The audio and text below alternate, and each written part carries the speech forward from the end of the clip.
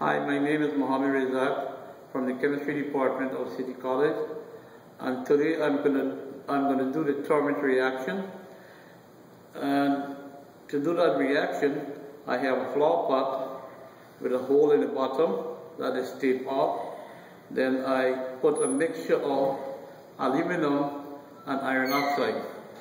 And to that mixture I've dipped a magnesium wick.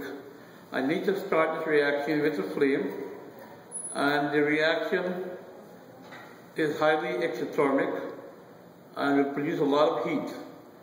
And then molten metal will pass through the bottom.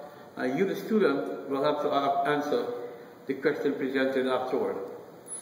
So this is it, let's start. I'm using a lighter to light the magnesium. Magnesium burns very brightly and produces a hot flame hot enough to start the reaction.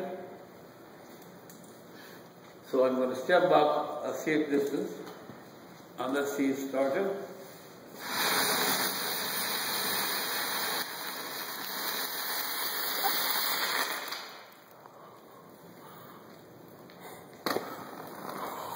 and there is a molten metal poured through the hole at the bottom.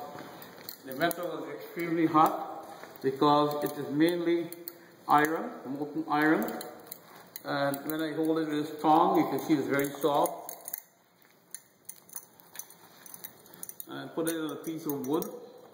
will cause the wood to burst into flame. And the melting point of iron is 1535 degrees. So you can imagine how hot this is. So this is the demonstration. I hope you enjoy.